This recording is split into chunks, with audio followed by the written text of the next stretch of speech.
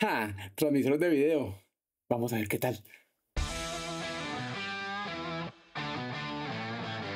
Hey Saiyajines, ¿cómo van? ¿Cómo han estado? Yo aquí con un nuevo video. Soy Fabián para los que no me conocen y en esta oportunidad vengo a hablarles de un aparatico que me llegó y me tiene bastante contento. ¿Cómo les parece que yo andaba buscando un transmisor de video? Algo que no fuera muy complicado y que la gente de Shimbol desde la China me escriben y me dicen, hombre, estamos haciendo unos aparaticos, transmisores de video, tenemos otras cosillas, pero queremos que probes nuestro transmisor de video más económico. Y yo, mm, ok, y me lo mandaron desde la China porque yo dije, pues qué carajos, mándenlo, porque a caballo regalado no se le mira el diente. Le dije, mándenme esa vaina a ver qué pasa. Y me lo han mandado y desde la China me llegó esta cajita.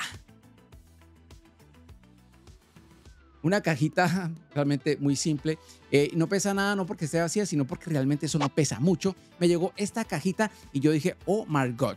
Vamos a ver, desde la cajita yo dije, la cosa va... Sí, se ve barato, pero después pensé, hombre, si la gente de Sony con sus super cámaras están sacando las cajas de cartón con un mero muñeco aquí, pues los de Gimbal dijeron, nos ahorramos la fotografía, nos ahorramos la tinta y abaratamos más costos. Hicieron esa caja súper simple y sencilla. ¿Listo? Para ver lo que tiene esto acá adentro, los invito para que vean este unboxing mega rápido.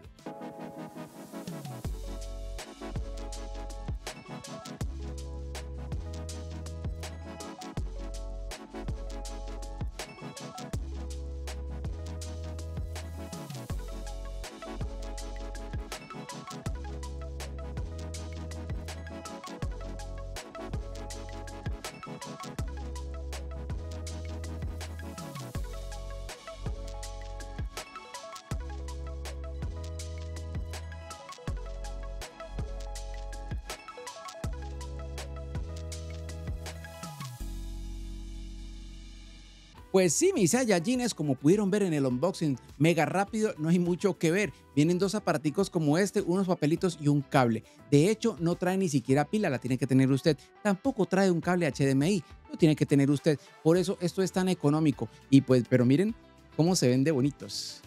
Hombre, hombre, rojitos con el dragón. Miren el dragón. Porque si fueran de Australia tendrían un canguro, ¿no? Pero no. Tienen un dragón porque son de China. Aunque podrían haber tenido un pandita, pero no, un dragón. A mí me gusta el dragón. Un dragón y son rojitos, hombre, qué bonitos. Algo que me llamó la atención de esos aparaticos es que va máximo a 1080 a 60 FPS. Y usted me dirá, hombre, ¿cómo así que no tienen 4K? Pero hombre, son 89 dólares lo que cuesta esto, es una baratija. No hay ningún aparato que transmita video que cueste 89 dólares. Todos cuestan 5 veces más, los más económicos. Y esto lo hace muy bien. Pero 1080 a 60 FPS es más que suficiente, créame, más que suficiente para un monitor hasta de 7 pulgadas. Usted va a ver eso claritico y realmente se ven bastante claros porque les hice unas pruebas. Pero antes de las pruebas, quiero eh, darles un poquitico de contexto en ustedes para cuándo o en qué momentos podrían utilizar un cosito como estos.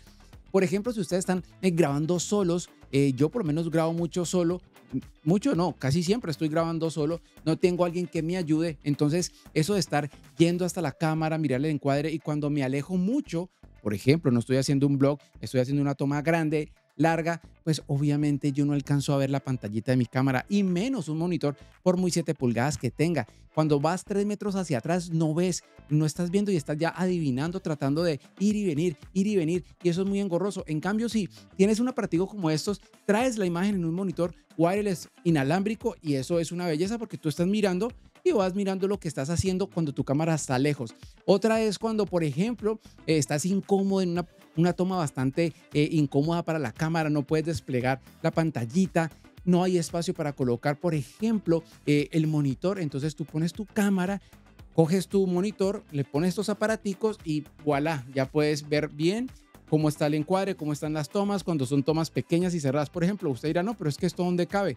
Pues yo aquí le tengo un aparatillo, ¿no? Y yo si lo suelto, vamos a soltarlo para poderlo, lo aflojo un poquitico y ya lo puedo bajar y miren, y ya, ya queda más pequeñito. O ustedes lo pueden colocar a un ladito, ustedes verán. Pero esto funciona muy bien para que ustedes puedan ver qué está grabando su cámara y ustedes verlo desde la distancia. Básicamente es para eso, ¿listo? Y créanme que esto me ha ahorrado una mano de tiempo. Entonces aquí en este ejemplo, miren, ahí está la cámara. Acá está el monitor. Y eso es Valentino luchando, luchando con el Capitán América. Quiero contarles rápidamente eh, cómo le hice yo, qué rig le utilicé, qué rig, no, qué accesorios utilicé para poder utilizar el, el aquí con mi, con mi monitor. Y realmente a veces uno se complica mucho porque yo era, no, voy a buscar en Amazon a ver si hay un rig para esto, para ver, para montarlo. Eh, y, y, realmente llego porque me estoy complicando. Hombre, cogí y saqué esto que es un palito. Esto es una extensión de un monitor grande que yo tengo o que yo tenía porque ya no lo tengo. Y lo único que cogí fue esa extensión. En una esquina le puse el monitor Listo, y en la parte más alejada puse el símbolo, aquí el transmisor. A este le coloqué, incluso pude colocarle hasta la pila grande. Aquí está la pila del monitor y simplemente un cable HDMI, pare de contar, lo prendo y listo. Y miren, un trípode de lo más sencillo, este trípode lo tenía por ahí. Es un trípode que barateque de los gestos de mesa, muy sencillito. Y miren, con eso funciona bien, lo puedo poner en una mesa y puedo estar monitoreando. A veces uno se complica un poquitico y yo a veces sufro de eso, me complico porque quiero tener algo cómodo y a veces en todos los rebrujos que uno tiene entre tornillos y tuercas y cosas, uno puede armar cositas como esta muy sencillitas. Para mi cámara Saiyajines no es nada complicado, le colocan un accesorio de estos que son los que se usan para poner monitores. Este, este por ejemplo, el que yo tengo lo puedo bajar así en horizontal, ¿no? Para que ocupe menos espacio, lo puedo subir si no tengo muy buena señal y va más que bien. Yo creo que eso y el cable, ¿no? Y realmente pare de contar. A veces uno se complica la verdad, pero miren, miren, todo me salió bien y súper chévere y súper cómodo. Ahí les dejo el dato. Pues mis gallines, los invito a ver estas pequeñas pruebillas que le hice a estos Shimbol. Shimbol. Remisores de video. Chinos, pero muy buenos. Bueno, Saiyajines, ahora aquí vamos a probar estos transmisores de video Shimbol, ¿no? Y para eso me improvisé aquí un pequeño set para hacer esta prueba. Lo primero es que me está tomando una cámara que es mi FX30 con un lente 2470 full frame. Sí, full frame para que me dé toda esta distancia que tengo porque siempre la tengo lejitos y encima de esa cámara está el famoso transmisor Shimbol así que vamos a mostrárselos pero aquí tengo esta va a ser mi cámara de mano para ir mostrando las cosillas esta es mi Sony A7 IV que va a ser de camarita en mano y les voy a mostrar aquí mis Saiyajines cómo tengo montado esto. Esta es la cámara FX30, un lente 2470, listo. Y aquí está el famoso Shimbol, que es el dragoncillo así ¿no? Qué bonito. ¿Listo? Entonces van a darse cuenta que miren todo lo que me tengo que alejar. Ya llevo cuatro pasos, cinco pasos. Y sí, realmente estoy bastante eh, alejado de la cámara casi, pónganmelo unos dos metros y medio más o menos, ¿ok? Entonces le voy a hablar a las dos cámaras.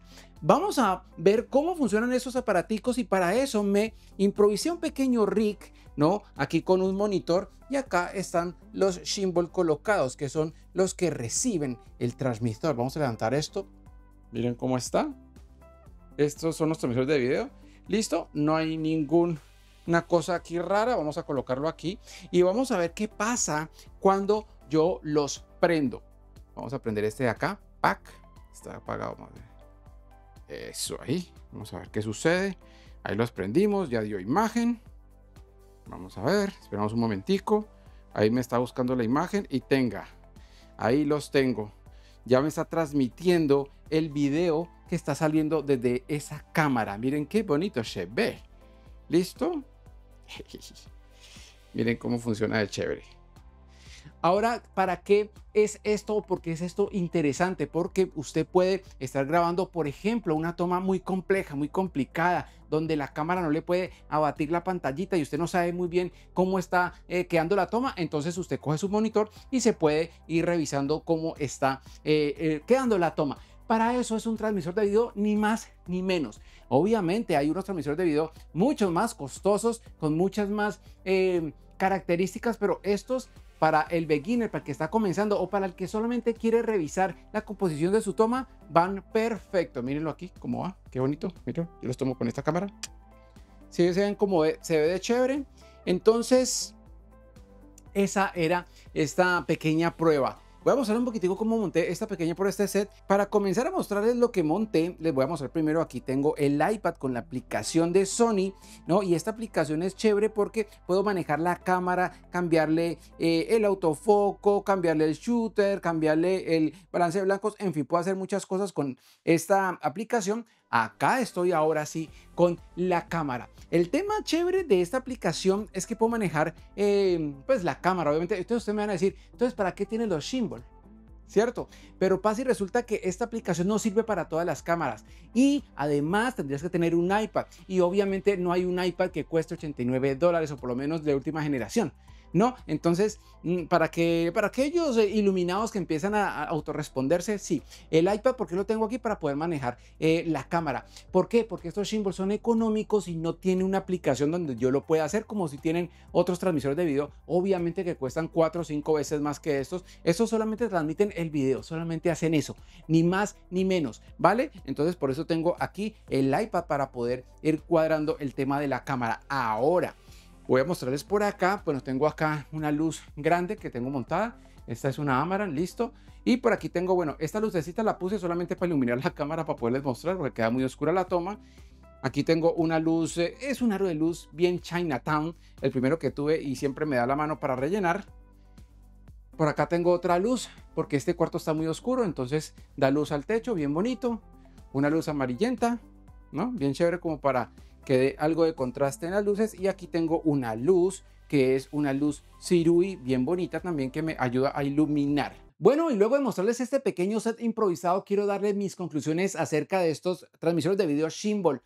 Los recomiendo 100%. ¿Por qué? Porque funcionan. No hacen más ni hacen menos. Hacen lo que dicen que deben hacer y es transmitir video. No tiene aplicaciones raras, no tiene configuraciones raras, usted lo saca de la caja y ya que funciona. Y eso es muy chévere porque no tiene que ponerse a leer manuales largos. Usted pone eso, enchufa, monitor, enchufa y ya tiene video y eso me gusta bastante, o sea, son muy prácticos. Obviamente a uno también le gusta que tengan aplicaciones y todo eso, pero bueno, ahí ya entraríamos en temas de precios porque esto vale 89 dólares y los robustos, los que tienen aplicaciones y muchas características, valen 5 veces más que estos los más económicos, ¿vale? Entonces eh, ahí es donde ponemos, eh, digamos que una balanza. Si usted está comenzando en el video, estos aparaticos le van a ahorrar mucho tiempo porque el tema de estar yendo a la cámara, mirar la composición y volver y usted está solo, no tiene quien le ayude. Vea, ustedes de aquí, ve aquí súper chévere, miren la imagen, se ve súper clarito y no tiene ningún problema. Algunos dirán, ay, pero no transmite a 4K. No necesita el 4K para un monitor de estos pequeñitos hasta de 7 pulgadas, 1080 con 60 FPS máximo funcionan más que bien, no se compliquen y con el valor que tiene esto, pues yo creo que eh, son bastante comprables y usables. Pues bien, Saiyajines, esas son mis conclusiones. Por allá abajo les voy a dejar eh, los links que me mandó la gente de Shimbol para que los puedan revisar por lo menos y tenerlos en cuenta. Eh, y bueno, hasta aquí este video. Y si te gustó, pues dale un like y te invito para que te suscribas a este canal donde hago este tipo de videos. No fiendo más. y esperándolos en mi próximo video, nos vemos. Chao. Estoy muy lejos de la cámara. Chao.